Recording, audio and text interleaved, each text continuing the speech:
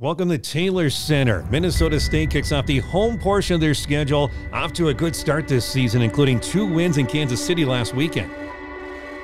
And our goals are what? To win championships, all right?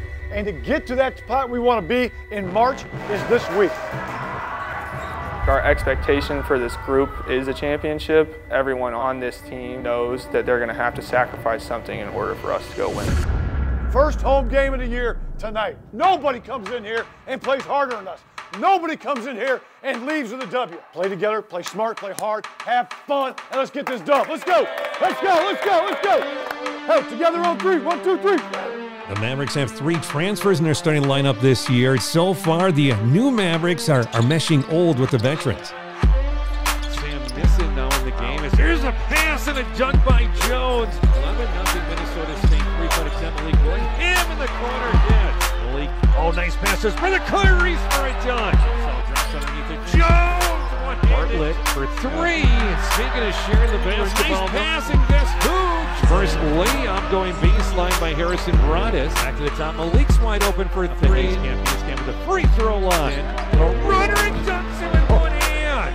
Camp Camp an NBA three. Got it. Elijah Hayescamp. Malik Willingham, runner. Left it short. Peters with the dunk. Harris explodes off the glass and good. Left hand. Gets a rebound. Eagles for another chance. We're tied at 65. Running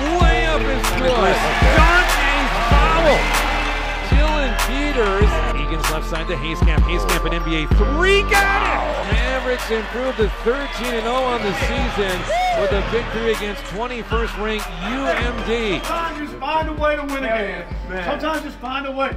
Hey, Like Coach Shot said, we almost found a way to lose it. Oh, but you guys stayed with it, resilient the whole time. And that was that was a that was a big time battle of two really good teams. We're seeing them again, right? Oh, seeing them up in Duluth. Yeah, hey, hey, but enjoy this one, man. Enjoy this one. Enjoy time with your family. Be careful, all right? Be smart. Everyone's got to come back here and ready to go. We'll be better in the second half. Yeah, big time. You know, 100% shout out to the crowd. I mean, we couldn't have done it without him. Yes, yeah, we want obviously we wanted to be here at Christmas time, and, and uh, it's a heck of a Christmas present. But there's a big gauntlet waiting for us in, in January. I mean, we can start with Northern, then get Bemidji.